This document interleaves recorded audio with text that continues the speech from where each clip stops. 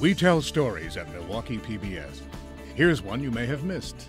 Welcome to the Arts Page. I'm your host, Sandy Maxx. We start our look at Wisconsin art right here in Milwaukee with a milestone. The Milwaukee Ballet is celebrating 50 years of tradition and innovation, from classical ballets like Swan Lake and the Nutcracker to truly unique productions like Dracula and Peter Pan. Artistic director Michael Pink and his creative team have revolutionized storytelling through dance. Time now to get a first look at the Milwaukee Ballet's new home and learn more about the dance company's history and legacy. Milwaukee Ballet is a classical ballet company, therefore most of our dancers are trained in classical ballet. They come from the four corners of the world.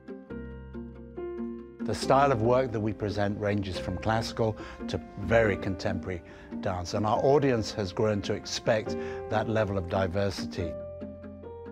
What is important and really differentiates us from many, many other companies is our commitment to narrative work. We produce full length, by meaning an entire evening's entertainment that tells a story without speaking a word.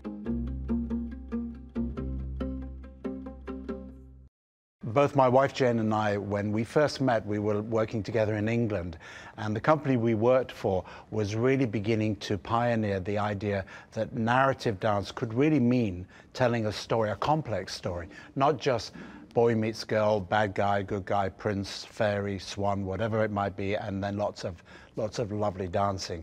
Our primary goal was to really tell a story that had integrity, that had con continuity, and that really developed the characters and their relationships. And so together we really pioneered the idea of developing non-verbal narrative theatre, and that's become a major part of the identity of this, this company.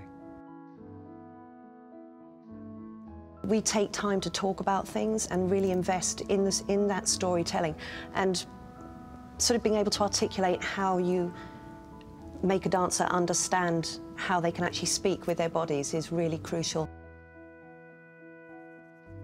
Attending a ballet is, is an all-round emotional uh, experience, largely because you are seeing beautiful movement or complex movement with your eyes. You're invariably hearing interesting music and, and often than not, it will be live, so that is your symphonic contribution. Uh, and you're telling a story without using words, so it has no language barriers. The very beautiful Luz San Miguel is a true ballerina and uh, for me the real deal and the kind of dancer that I would wanted to have emulated if I was, you know, younger, looking up to her. So she's just been a joy to watch and such a perfect exponent of Michael's style of choreography as well. For me as a dancer, to get to work with Michael Pink was like an epiphany. I always knew that there was something else to ballet that I was missing, that nobody else was giving me. I didn't want to just dance technique for the mere reason of dancing technique. I wanted to get a deeper approach and more dramatic approach. And Michael is a master of storytelling and he loves the dramatic part, the acting part of it. You have to be a great actor to do his ballets. I just found home and I got my artistic freedom and yes, not only you have to have a strong classical technique and do it beautifully, but now you're gonna use it to express emotions and to tell a story. So on top of Michael's sort of impeccably high technical standards that he holds for all the dancers in the company, which is incredibly important for a ballet company. He also has the same standard for artistic quality. So Michael in the studio is split between how you're portraying a character and also how you're executing your steps. So it's incredibly inspiring um, working with someone with his wealth of knowledge and experience. Well, certainly in the 17 years that we've been here, I think dancers uh, and social media communication, they start to find out about what's happening in Milwaukee. They connect with each other, and they, then they're also new work. The opportunity to actually be part of a creative process, you know, a, you know, a nascent creative process is really exciting one for a dancer. So you're not just doing a blueprint of somebody else's Aurora or a Prince Siegfried. You know, you actually get to make something brand new. That's something you keep with you forever. I think it's human nature. People want to belong somewhere where they feel valued, appreciated, listened to, and a part of the process. And the world of dance, because of the nature of it being usually young people, again, it is assumed that you're young. What would you know?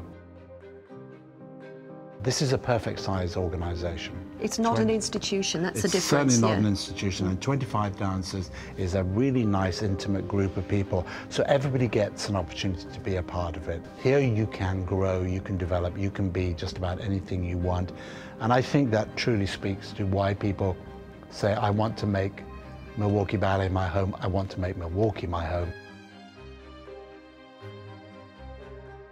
Every time I say I'm from the Milwaukee Ballet, I am terribly proud of that. And I'm very proud to be in this artistic community. I think Milwaukee Ballet's mission to maintain traditions but also push the art form forward to continue to bring joy to people, and I think it will continue on for years to come. I would love to think that the legacy of this, this company will really be um, its first 50 years and its history and its journey, and in particular the time that I've had uh, the great fortune to be its uh, artistic leader, that we've elevated the art form to um, a level where more people are coming to the ballet, more people are appreciating it, people are uh, really aware of who we are as an organization in our community. But I would like to think we might become a role model for success for companies of similar sizes around the country, around the world, and that people would be inquisitive and interested enough to want to come and see uh, we, how we do things here, because it's always about an ability to learn and continue to learn. Watch the Arts page on Milwaukee PBS and watch online at milwaukeepbs.org.